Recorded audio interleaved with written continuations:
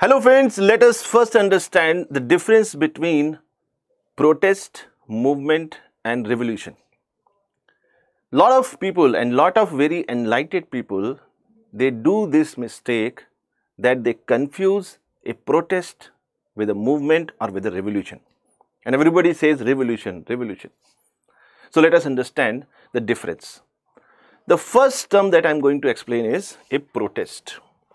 If you see, protest is comparatively small in magnitude and its duration is also very less. For example, a small child can register a protest against his father. In another way you can understand very recently farmers have registered their protest against the government policies against the farmers bill, farmers law. So, protest is going to be a kind of opposition or registering your intent, your wishes against certain policies or you can say structure or system in a formal manner. But its intensity is going to be less, its magnitude is going to be less and the time duration is also going to be less. But when you talk about movement, in case of movement, the time duration is going to be comparatively large.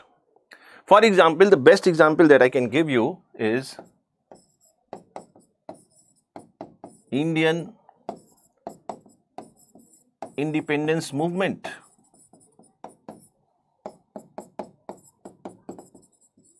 And today you will understand why India's independence from the British rule is not called as a revolution, rather it is called as a movement.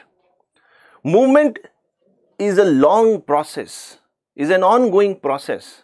It may comprise 5 years, 10 years, 20 years and even 50 years or more. But movement is a process where changes are comparatively slow.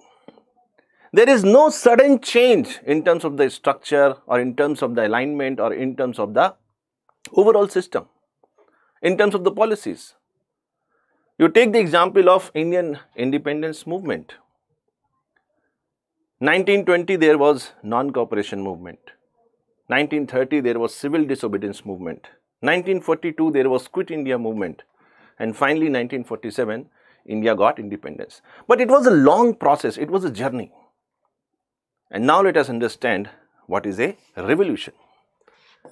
A, revolution is is an event. It's not a process, is an event. And it is such an event that before it and after it, every system, every part of the structure is going to be completely different. For example, we define the first revolution as French Revolution, which gave the idea of liberty, equality and fraternity to challenge the aristocratic system. So, revolution is not that every event is going to be a revolution. Revolution is going to be an event where before the event and after the event, the whole system is going to be completely different. It is very important to understand this difference between a protest movement and revolution. So, I hope now you all must be comfortable with this difference and anywhere if you find these terms, you will be quite comfortable and confident to understand the meaning. Thank you so much. Stay subscribed to Byju's Exam Prep for all such interesting important updates for your examination. Thank you so much.